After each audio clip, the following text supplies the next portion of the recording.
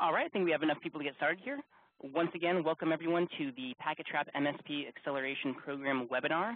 On today's agenda, we are going to cover what the MSP acceleration process is, what kind of materials are included, and um, how you can use it to your advantage uh, combined with PacketTrap MSP software to make the most out of your business.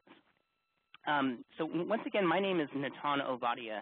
I'm uh, one of the partner management specialists here in the PacketTrap division of Quest Software.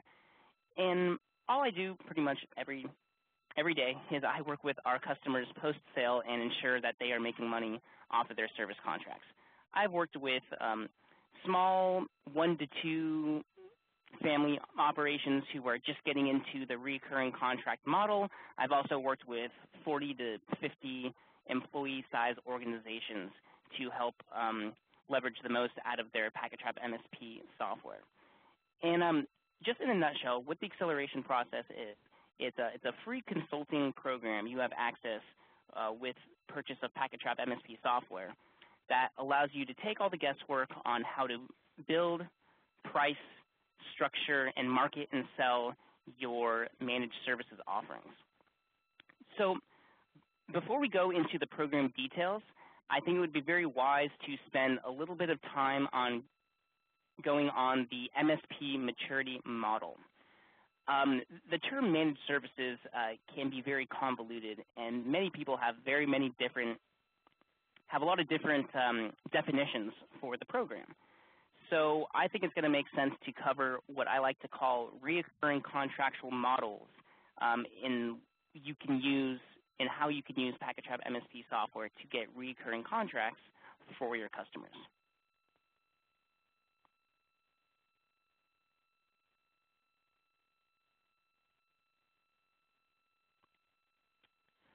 All right, just bringing up another slide deck here.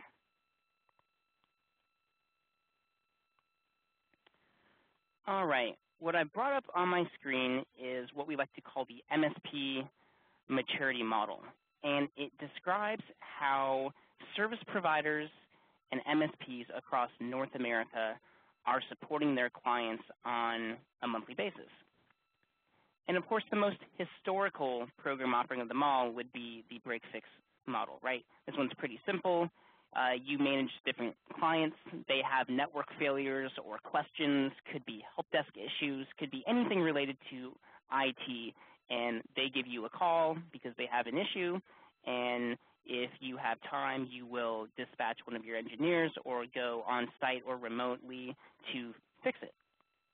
Right, real basic model, um, good for you know establishing the trust, establishing that relationship with the clients that you're supporting, but falls short in a couple of different sections. Because you're waiting for the phone to ring, you're, you're waiting for business to happen. And it's all client initiated. Therefore, um, it's unpredictable. You can't really project how much revenue is coming in on a monthly basis, judged predominantly on break-fix model. So um, in these other th three program offerings we're going to explore, these are all different types of recurring contractual program offerings that you can adopt by using a program like PacketTrap MSP. Um, a very entry-level service model that you can adopt is what we like to call a level one or reactive program offering. And it's very basic in terms of a functionality standpoint.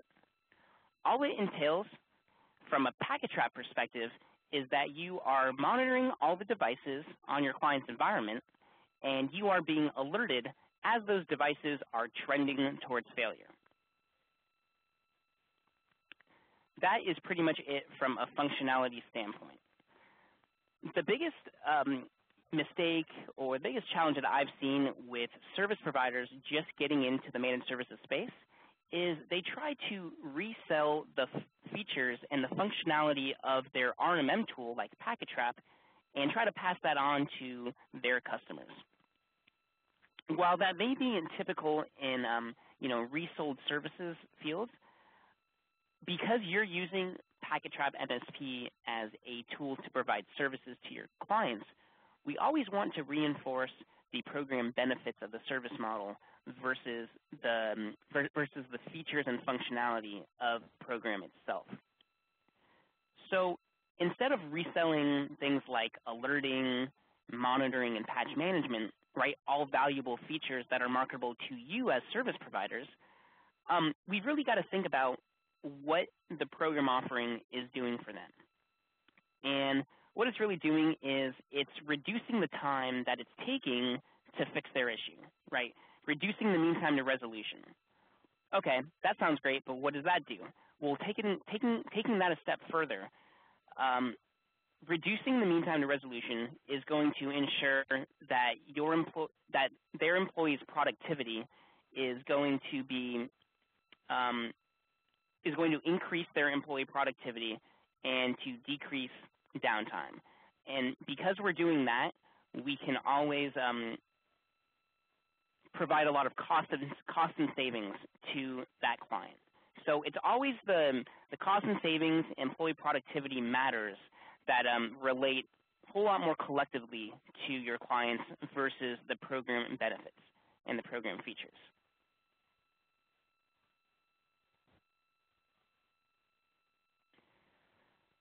All right. Um, so in this level one program offering, it's very important to note that there's still a very much a reactive element to it. Um, because you would be alerting and monitoring the devices, um, you can still have a, a, billable time unit because for any issues that do come up, you know, that's where you can bill at your normally scheduled hourly rate. Um, and you can even give them a discount when that time comes. But the point of these program offerings is that at least you have some sort of recurring contractual models. Even if the level one model is, you know, at 100, 200, 300 dollars per month, it still comes at a very um, entry level model, and everything else would be break fix above and beyond this. So the next program offering on the maturity scale is what we like to call a preventative maintenance or proactive or level two service offering.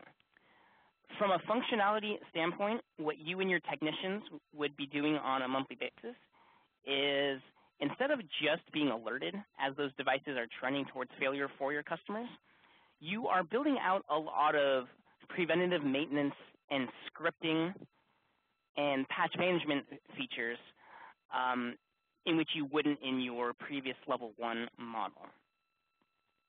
So with PacketTrap MSP, you can automate a lot of scheduled actions, scheduled scripts, um, anything that traditionally you'd have to go on site for, you can do remotely.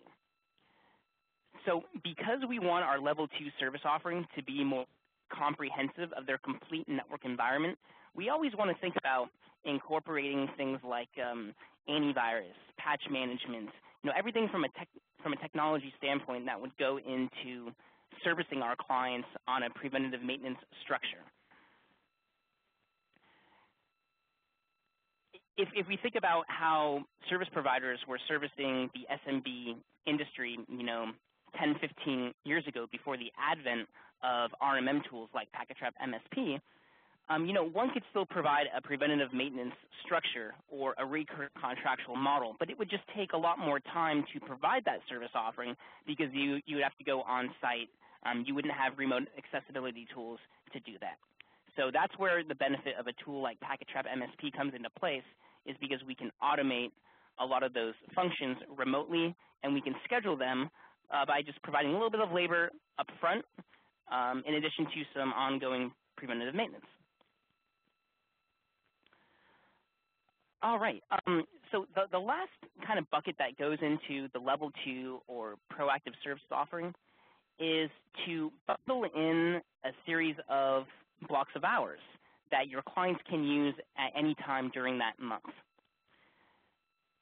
A lot of the customers that I've worked with, they build out, um, you know, two, three, four hours in that service offering at a reduced labor rate combined with the rest of the service model to ensure that when they do have issues, it just takes the hours away from those blocks of hours.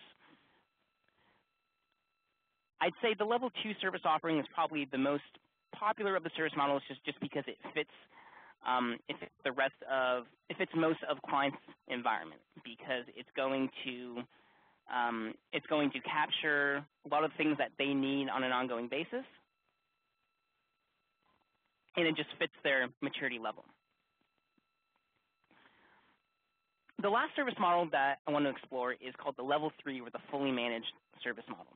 This is what most MSPs think about when they think of the term quote unquote managed services.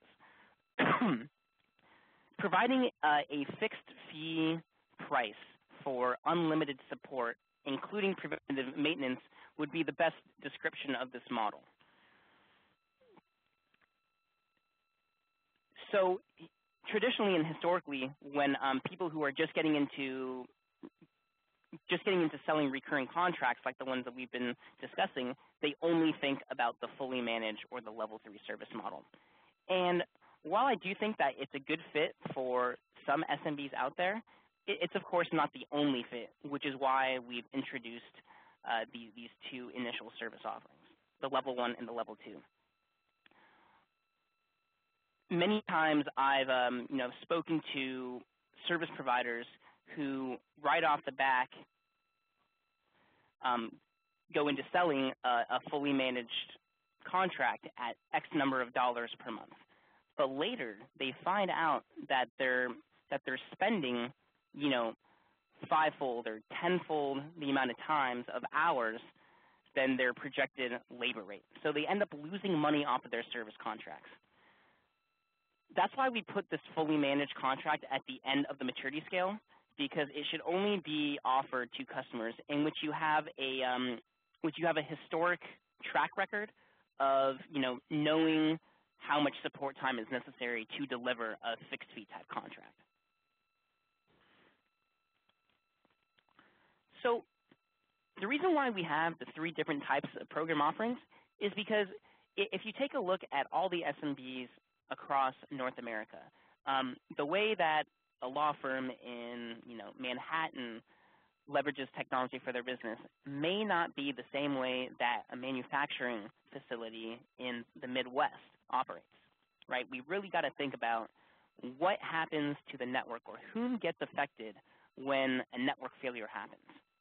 That's going to give you more of the foundation and the basic understanding for what type of structured managed services agreement is going to be the best approach for the customers that you're working with. And that statement can go through, can go true for your, for your break fix customers as well as any new prospects that you see down the road.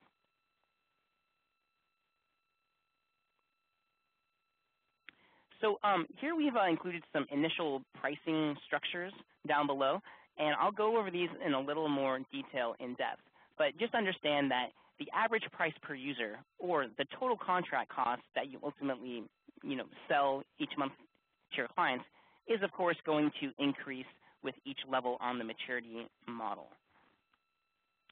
So at the entry level standpoint, we're talking about you know 10 bucks per user per month for the monitoring and for the maintenance, and then going all the way up to about 150, sometimes even a little bit more for a fully managed. It all really depends on the scope of services that are really being included and if we think about what really goes into a managed services contract in terms of pricing, those are all the software costs that are incurred to support your client on a monthly basis. That's going to include PacketTrap, your service automation tool, and anything that's resold like antivirus or backup, plus all of your ongoing labor services to provide services. That's going to include block hours. That's going to include maintenance for your RMM tool, um, and any sort of consulting services that we're tacking on.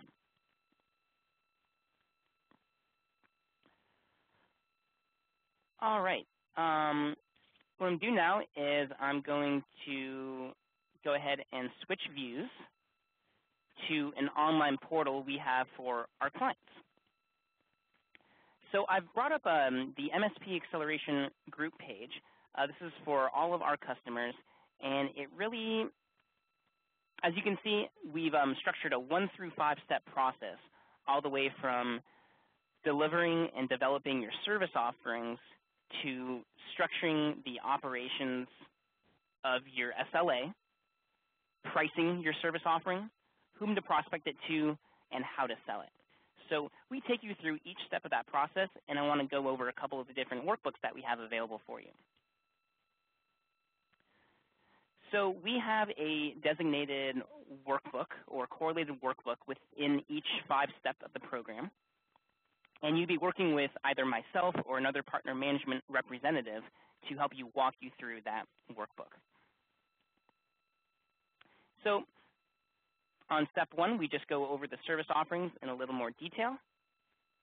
Don't want to spend too much time on this, but um, you know, we have a comprehensive matrix that goes through in a little more detail on what are the more kind of intensive technical program features that, that need to be inclusive in your service offering. And then most importantly, when it comes to sales, what are the benefits? Um, what are the things that we're trying to project to the customers that we are selling this to? So keep in mind, we always want to talk on the high level structure of you know, reduction mean time to resolution, cost and savings, um, and higher employee productivity because those are more of the valuable elements that relate to your clients.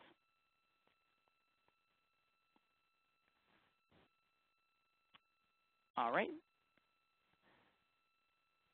So the next document that I wanted to cover here is going to be uh, the SLA creation workbook. And I like to call this the real meat and potatoes of the MSP acceleration process because a lot of our pricing, sales, and marketing is all based on this workbook.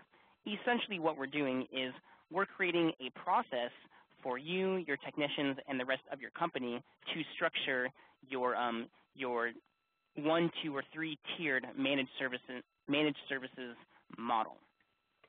So what we're looking at is a sample list of common technical services that are typically required to fulfill a managed services agreement. When we on the acceleration team were trying to think of all the services to put into our model here, we know that it had to include three different types of services that come from column A. So we knew that one of the largest, largest elements that goes into this would be all of the PacketTrap MSP functions, right? All of the ongoing maintenance features that need to be included in a monthly basis.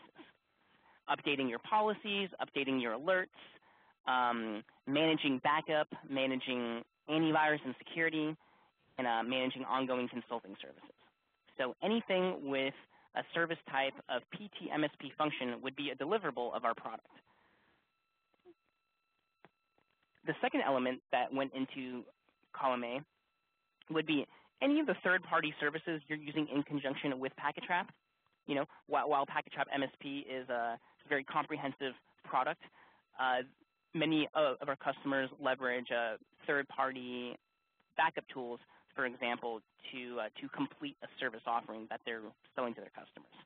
So if there's um, something that you use in your you know, technical tool belt to provide services to your, to your clients, then we'll go ahead and mark that as a third-party um, third-party service type the last thing that goes into our service type would be all of the technical labor skill sets that you and your employees have in order to provide services. So if it's just technical labor that you're providing or just consulting-based labor, we want to factor that in into our service offering.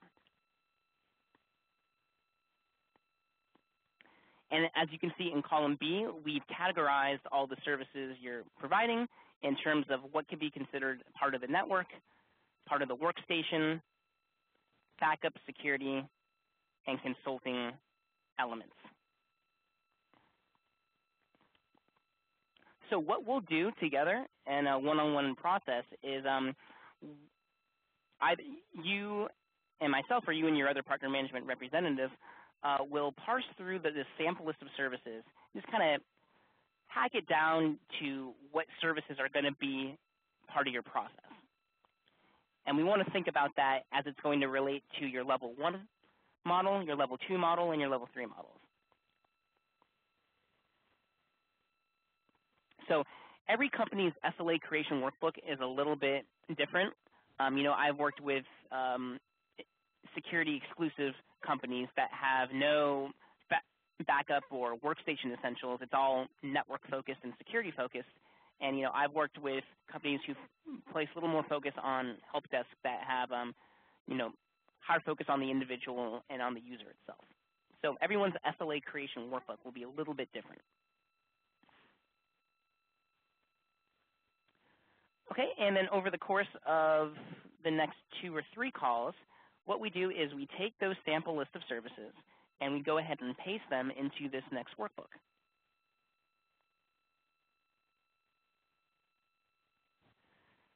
We'll then go through each service row by row, and we'll talk about how the service is performed. If it's gonna, if it's a technical labor type service, if it's a monitoring service, if it's resold, if it's a reporting service, um, and then we'll decide if that technical service is a requirement for your level one model, your level two model, and your level three model. Just going through an, an example of policy management, um, for those of you who are unfamiliar with the product itself, uh, policy management would be the routine monthly process of updating all of the alerts and monitors for all your customers. So because this is a fundamental you know, aspect of the software itself, we know that there's some element of policy management that would need to be included in our process for each of our three different service offerings. So that's why we see that um, there's that there's an X included at each service offering. We'll then run through this example and we will determine on average how long that you as a company will be spending monitoring your policies or updating your policies on a monthly basis. So these are all fractions of an hour here.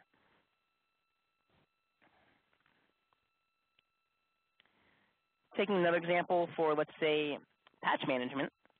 You know, patch management is one of those technical services that we want to reserve for a preventative maintenance program like a level two model. So that's why when we're building up the service offering, uh, we've included patch management for level two and level three, but left it as an option for level one. So that's kind of the consulting process that we'll go through once we've listed all of your individual items here. Great thing about this workbook is that we only have to do this process once because we're not building it out for an individual client initially. We're building out a whole model to fit each of your three program offerings. We'll still have the opportunity to tweak um, you know, your, your specific contractual SLAs for each of your customers because we know that each customer is very different, but this is just to, to create a sample customer template.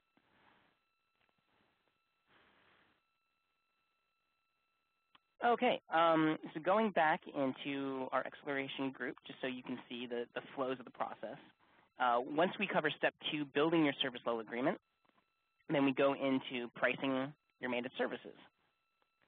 And that's where the foundation of the SLA creation workbook really provides us steps to move forward in the pricing tool.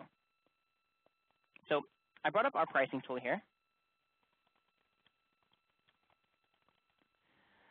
As I said before, you know, the only two predominant factors that go into pricing your managed services offering are all of the software costs that go into your service offering as well as all of the ongoing labor services. So simply put, that's what we cover in this workbook. First step in doing so is to determine all of the applicable labor rates that you have in your organization.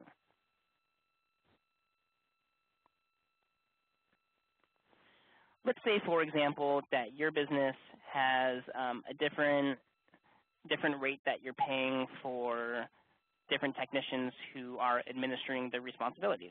So maybe we have a Tech 1 rate that's going to cover all of the admin, monitoring, and alerting functionalities, where maybe your internal cost is a little bit less, but your client cost is also a little bit less as well. And then let's say we have a tech rate 2 that's going to cover all of the reactive time, um, all of the consulting time, uh, and any of the real hard-earned labor. So maybe because um, you know John the technician is has, has a higher salary, we have him as a higher internal cost on an hourly basis. But the client cost is also a little more expensive. And maybe we have a consulting rate that's going to come up with a different internal cost, and of course, maybe it has the same client, client-facing cost.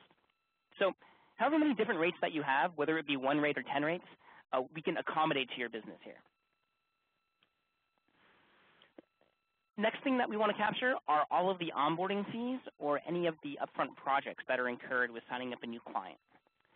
So uh, just so you can see the structure of the workbook, let's say we have five hours for service X and you know 10 hours for service Y at our two different labor rates.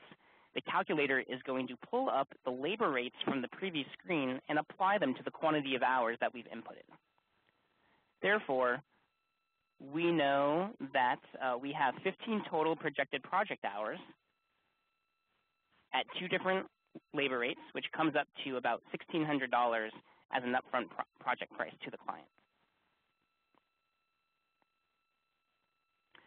Okay, next, um, next step would be to uncover all of our software costs, which of course um, we want to find out how much you're paying us, how much you're paying PacketTrap on a monthly basis, which is going to determine your total PacketTrap cost per client. We mark up the price of that and factor in the total PacketTrap price to the client into each of your contracts. So we know at a 25% markup, um, $66 is going to be factored in into the total price of the managed services offering. So that would be the top section for all of your PacketTrap pricing. And down below would be anything that's resold. So if you have partnered up with a, a third-party backup company or third-party antivirus company, and, and you want to build that in into your service offering, that's one of the things that's a very that's become very common, especially over the course of the last five to seven years in the managed services model. So let's say this um, agnostic backup storage company is charging you 50 cents per gig, and you're not providing any backup services on your level one model, but you're backing up 5 gigs on your level 2 and 10 gigs on your level 3, just to provide some real basic, simple examples, then we know that your costs are $2.50 and $5 respectively on a monthly basis.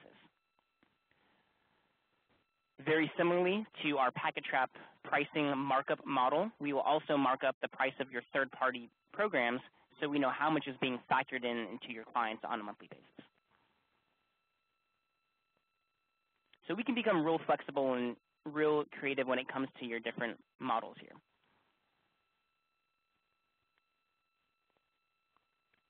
All right, um, last real set of data that we really need to factor in here is the labor piece of the puzzle, right? How many labor hours are you providing on a monthly basis? That's going to give us some more factual numbers into how we should be pricing our service offering. So all this sheet consists of is us going into our SLA creation workbook and copying and pasting our services and their applicable labor times into our spreadsheet. The only thing that we need to do now is to factor in our labor rates.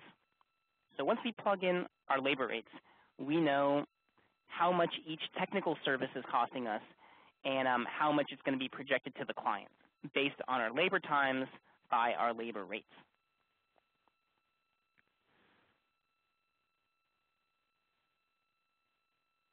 So we know for our three program offerings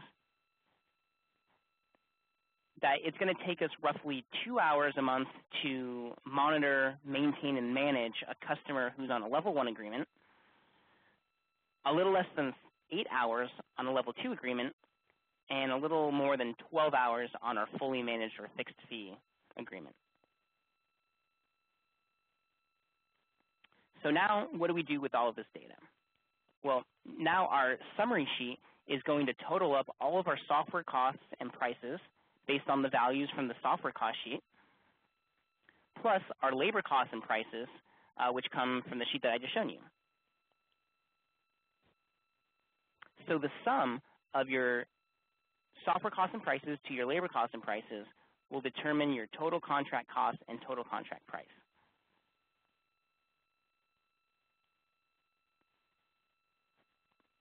The ratio of both of these values will determine our overall contract margin, as well as give us a couple of different pricing scenarios for how we want to price this out to our customers.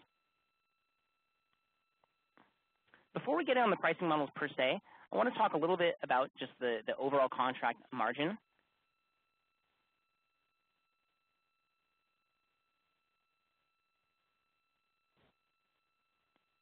And I'm going to go back into our maturity model, uh, which was the basis for our conversation. So each of these um, different program offerings has different ranges of margins that we want you to generate off of your service contracts. So needless to say that um, we, we generally put our margins a little bit lower on the level one side to keep costs low, um, and a little bit higher on the level two and level three side because we know we're factoring in more services.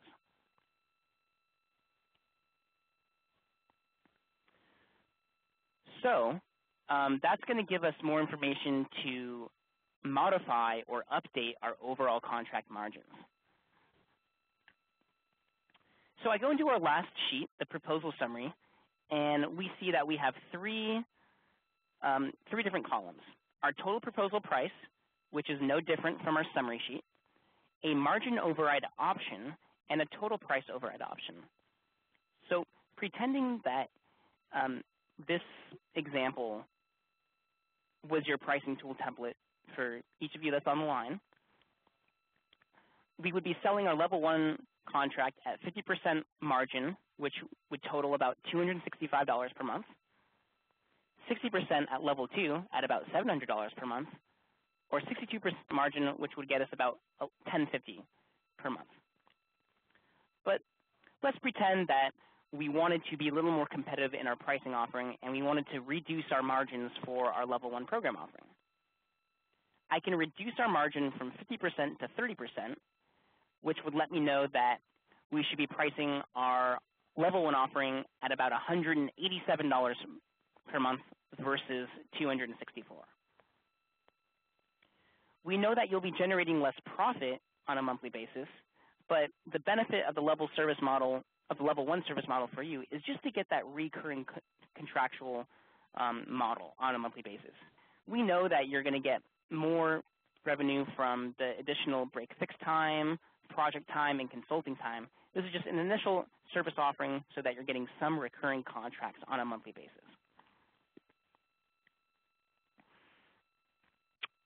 So if we go lower on the level one, if uh, let's say we reduce our level two model from um, 60% to, I don't know, let's say 55%, then we know instead of our pricing our service model at about $711 per month, we're now pricing at, at about 640 but let's say on a level three model, we wanted to generate, you know, 70% margin. We see that this figure is um, is more expensive than our 1050 at 62%. So after we spend some time adjusting your pricing models, we'll go ahead and you know tailor our specific total margins to what you're comfortable with.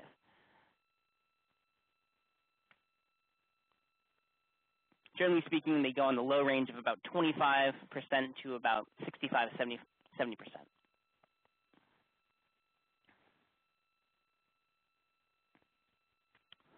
All right, so the pricing tool template will be used as your main guideline for how to price all of your customers.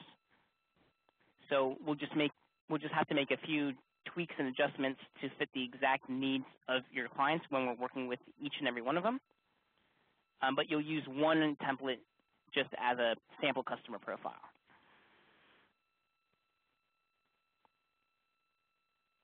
Um, just a quick note on what's the the what's the preferred methodology to price the services off to your customers, there's three main rules of thought.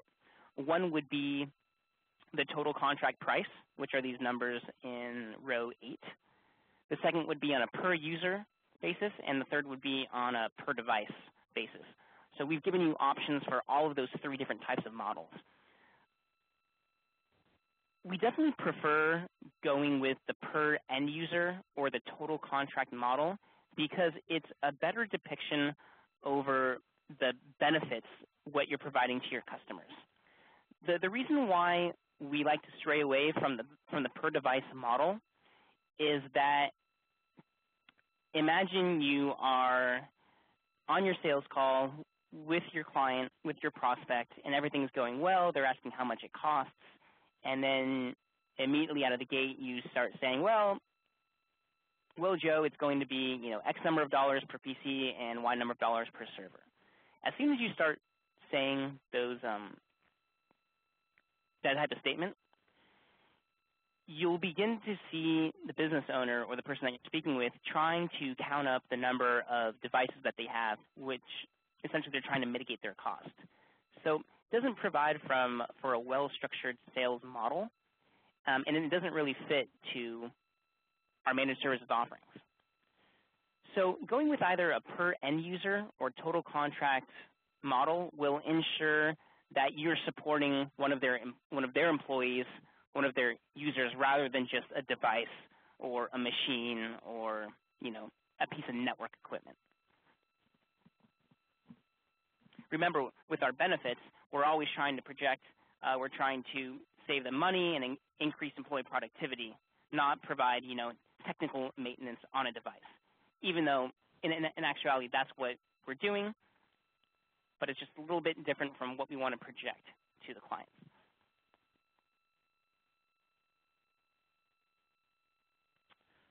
All right. So going back into our acceleration group here, steps two and three are really the, the forefront of the initial you know, three to four calls that we'll be going over.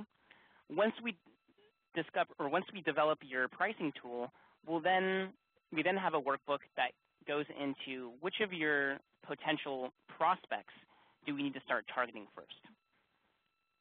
If you have a lot of customers who are on a, the break fix model, then um, start targeting which of those customers would be a good fit for each of your program offerings. And then we have a, lot of sales resources that help you leverage you know, the program benefits of your model versus the technical features. So I don't know if we have too much time to go into all of those documents, but uh, we have PowerPoint templates, um, Excel workbooks, uh, sales presentations, and PDFs to help you ensure that you are reinforcing the program benefits versus the program features.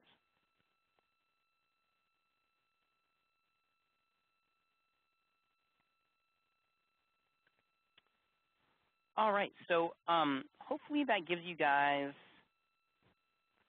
a good high-level understanding of the MSP Acceleration Program.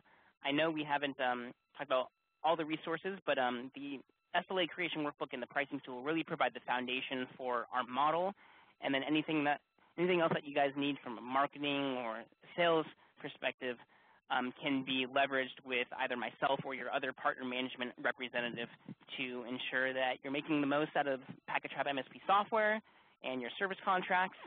You know, at the end of the day, we want you guys to become successful, um, not only out of the good nature of our hearts, but of course that we know it's going to benefit us as well. So we want you guys to do well. We have all of the technical resources you need to become successful as well as the business and sales materials that you need to be successful. So want to use this time to open it up to questions. If you guys have a question, feel free to put it in the chat window. And I will be sure to answer them.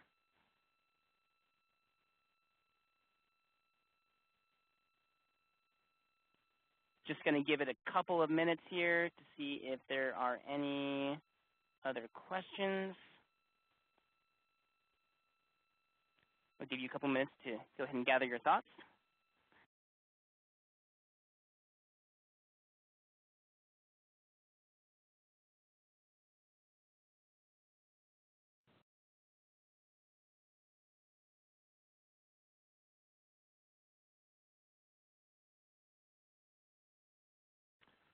All right. Um, doesn't look like there's too many questions out here. Um, if you guys need to get in touch with uh, get in touch with me. I'm including my contact email at the end of this uh, PowerPoint slide deck right here. If you are working with, uh, with an account manager or sales representative, please um, feel free to use them as your main source of contact. And if you want to know more information or want to see more materials on the acceleration process, you can go ahead and give me a call and we can do a joint call together. Uh, if you are a package PacketTrap MSP customer already and uh, haven't haven't leveraged the tools of the acceleration process already, give me a call and we can go ahead and start the process. And I can also get you set up on our community website. All of the resources, workbooks are all located on there as well. So once I invite you to the program offering, we'll be able to um, get you set up and take it from there.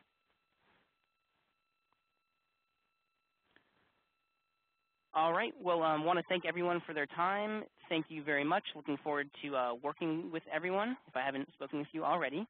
Um, enjoy the rest of your Tuesday, and um, have a great day.